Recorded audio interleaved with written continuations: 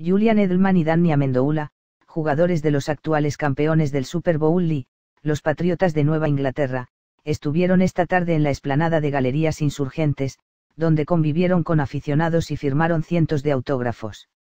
Bajo el sol, seguidores del conjunto cinco veces campeón de la NFL llegaron armados con jerseys, gorras, balones y demás artículos de la franquicia. Solo 500 afortunados pudieron gozar del privilegio de estar cerca de sus ídolos. Pese al retraso de los invitados, la euforia fue explosiva, al grado de que elementos de seguridad tuvieron que retirar algunos aficionados. Tanto Edelman como Amendoula ayudaron a un fanático en silla de ruedas a subir a la tarima y no dudaron en firmar el balón que cargaba consigo. En medio de las porras y gritos de aliento de los fans, Edelman no dudó en expresar su cariño a los aficionados y gritó el característico Viva México. Además, recordaron a los asistentes que los Patriotas tienen una cita pendiente en el Estadio Azteca contra los Raiders de Oakland, el próximo 19 de noviembre.